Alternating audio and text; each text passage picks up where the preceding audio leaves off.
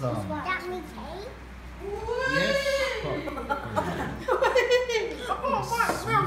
有东西有心里啊。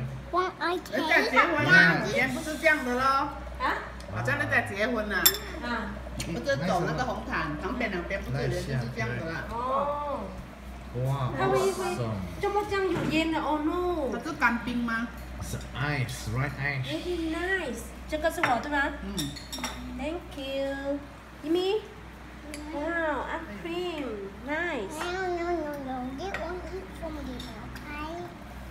哇水果的味道那个芒果的味道了水果来多少钱这样这个因为这个月是我的我的生日月份。